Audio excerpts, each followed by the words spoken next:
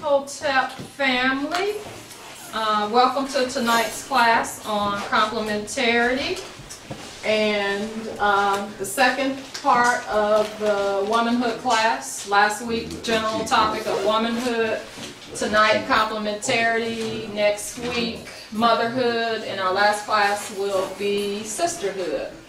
Okay, I have two very important quotes I'm asking everybody to write down because I think they're so important. Uh, the first one, committing to marriage and family is the revolutionary act of our time. Now, the revolutionary act of our time, I'm playing on Mama Marimba's uh, quote, to be African, in which of course, first and foremost, we have to be African. To be African is the revolution act of our time. But I'm seeing uh, more of us are willing to be African, but we're not necessarily willing to commit to marriage and family. So I would put those hand in hand because if we have all these single people and we're not forming families, so we're African, but part of being African is forming families. So I think we can't be do one without the other. And I think you know, the state of our marriage and families, we really have to stress that point. And my second quote is, working on your marriage is nation building work. And I like that one. And came up with that based upon we're all, we love African people, we're all involved in nation building work. And we're busy, we're working, you know, we're teaching, uh, we're meeting, uh, doing our uh, political meetings, we're learning our culture, we're getting names, clothes, drumming, dance, African languages. We're doing all this nation building work.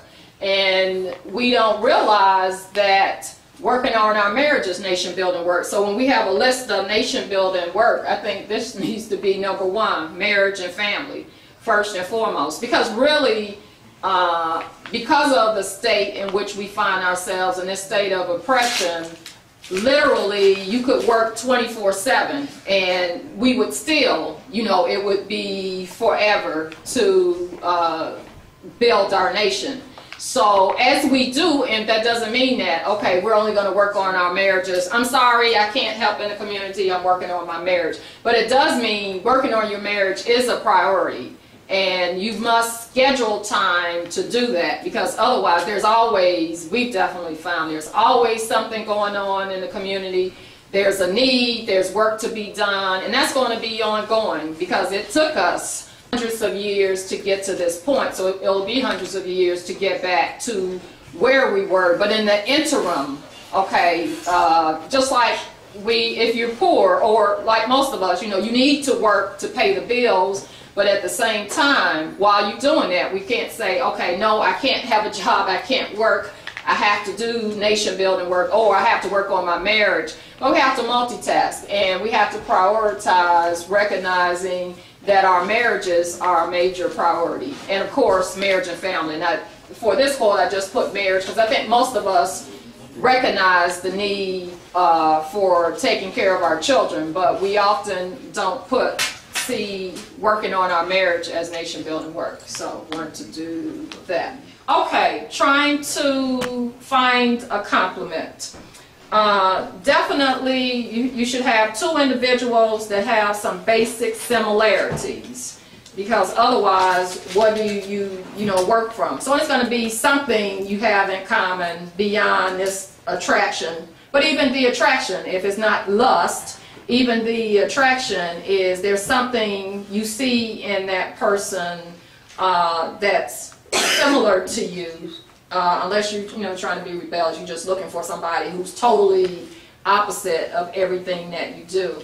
And I would say specifically for those of us who are African centered, first and foremost, you should be looking for an African centered complement. Otherwise, and we've seen many examples of this, it will not work. Uh, uh, we see sometimes sisters or brothers play a role because they see someone who's African centered and that's who they want and they're willing to play that role but when it's not sincerely that individual they, there's a marriage And unfortunately, what we know with some of our sons, okay, and then the children come, and then she feels she has the upper hand. I have the children, and we see another side, okay. But, but when the marriage occurs, then the real person comes through. So you know, as much as possible, trying to make sure that this is someone who is sincerely uh, interested and has a love for our people and that is not based on uh, a desire for you, but it has to be from within because if not, you know, again, that's not going to last long.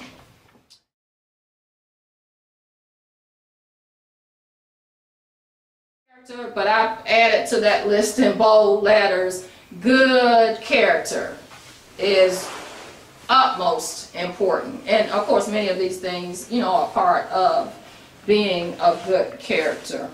Uh, in fact, um, I remember a sister telling me who had not found a compliment and she was thinking, you know, she's getting older and thinking this may not happen. So she, you know, was talking to one of her elders, uh, thinking about, well, I'll do the motherhood without the compliment. And the elder mama told her, make sure he's a good character.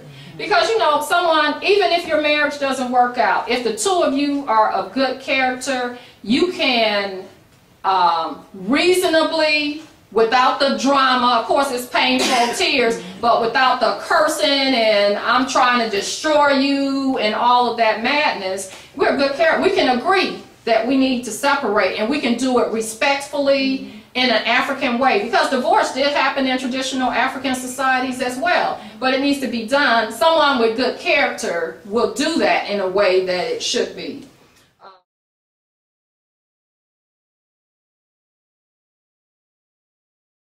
I think I heard Baba talking about this last night in the manhoods class on complementary. So if you have challenges and say you live alone and you have nice friends who, who won't tell you what your challenges are and your family members may be scared to tell you what your uh, challenges are, just get married and your spouse will bring up things you never dreamed of. Um, because, you know, and something Brother Baruti talked about last night, actually at a certain point, if you stay in a long-term marriage, you will have lived with your spouse longer than your families. Mm-hmm. And you're living with them as an adult. Because our personalities, as parents, we see our children's personalities to a certain degree. But if you're strong African parents, they're not allowed to go mm. crazy, mm. you know, so they have to hold in whatever mm. until they get grown. But when you are married, you are already an adult. So, say Baruti and I have almost 30 years. So I lived with my mom 17 years and go off to college. So that's a big difference. And she's she knows me, knew me as a child. Well, she still as an ancestor, she still knows me. But from baby to 17, and of course have learned and changed mm-hmm. dramatically in those years. So actually, your spouse really gets to know the real you and they will let you know. Mm-hmm. Because you know when I'll just have to say this mm-hmm. Baruti and I got married. You know I was sweet. Linda and my family members just love me because I'm just a sweetie pie. You know and now brother Baruti you know it was easy for me to oh this brother has issues.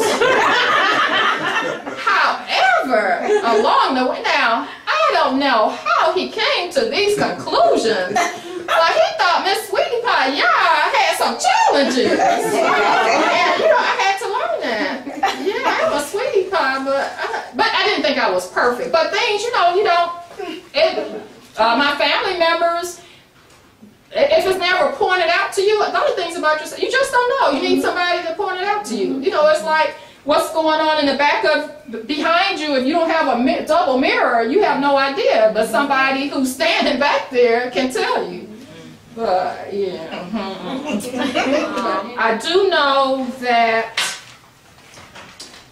uh, marriages experience trouble And sometimes people separate, sometimes people, you know, that's the reality. So first, we try to avoid it if at all possible. But having seen some nasty breakups in our African centered community just broke my heart. We need uh, community guideline. We need protocol. So some things, just some thoughts of mine. Um, if you're in a, tr a, troubled marriage, seek the counsel of long-term married couples who love you both. Okay, so they want you to stay together. Number two, unless there's a threat of physical harm, or if you, the other side of that, if you feel you're about to mentally or emotionally collapse, you know, that you, you've got to get out of there, okay? Now, and that doesn't mean that you have to divorce, but you might have to separate, get intervention, but yeah, so no, if you feel you're on the verge of mental or emotional collapse, yes, that is a reason to um, separate. Um, three, if you must physically separate, whoever's leaving the home, go to a family member if possible, because see, this is where all this mess can start going on. So you, whoever's leaving the house, go lives with someone who has someone of the other gender in the house. It's a, you know, a recipe for disaster. If you were in, uh, in the home of a family member, and I did, I think, add on there, where there is no one available for you to cheat with on, in the premises. So if you're going to cheat, that means you're going out your way to do it. Mm-hmm. Can't be, oh, I drank a, a glass of wine, whatever. You know, no, no excuses. But you know, that's why from my, I, I don't drink, but on TV, that's what you do, right? You loosen up, you get rid of your inhibitions. Okay, because you want to do wrong. All right. Um, and that goes either way. Uh, whoever's leaving the house, you should be not put yourself in a place of temptation. I think there should be a minimum one year separation, just like I believe there should be a minimum one year before actually getting married. But a year separation, people want to separate, ready for a divorce. So that means you've given up, you haven't tried, and I understand, you may feel you're about to lose your mind. In that case, get separate. But divorce shouldn't be your first step after that.